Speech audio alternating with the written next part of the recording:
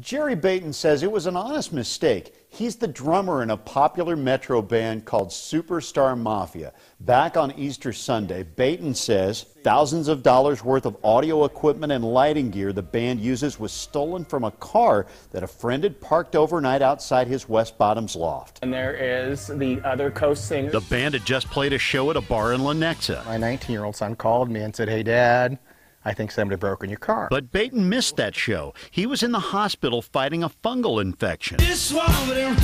Superstar Mafia has also been forced to play several shows with a different drummer as Jerry also fights a form of cancer. They cleaned us out of close to about $8,000 worth of equipment. Baton's car was connected to the band's trailer. Crooks took everything from inside the car and cut into the trailer to steal more. They took just about 90% everything that we have. Baton is also a former Kansas City fire captain. He says he'd been robbed in this neighborhood before. Somebody wants our stuff. And I and you know I hate to say it because I love living in this area. It's a lot of fun on the weekends. Superstar Mafia is scheduled as the headliner for Jazzoo, a fundraiser for the Kansas City Zoo.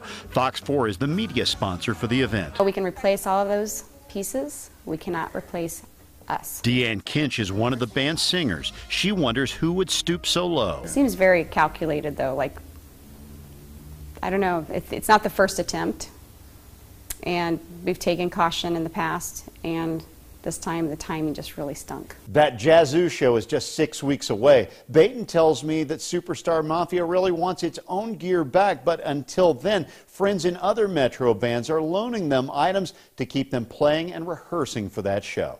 Sean McDowell, Fox 4 News.